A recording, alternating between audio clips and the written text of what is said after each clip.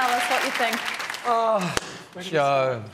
I think, in all honesty, mate, the only 10 you're going to hear from me is tentative because that is exactly what was going on out there. It's like everything looked like you were on the brink of falling over, and actually you did, so that was good.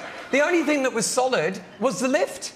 That's the only thing, and that's a good thing. Yeah, so, is. look, I know you say you don't want to be the joke, you know, but don't be the joke if you don't want to be the joke, you know? Try and go out there and work on the technical aspects of this competition. Okay, thank you very much.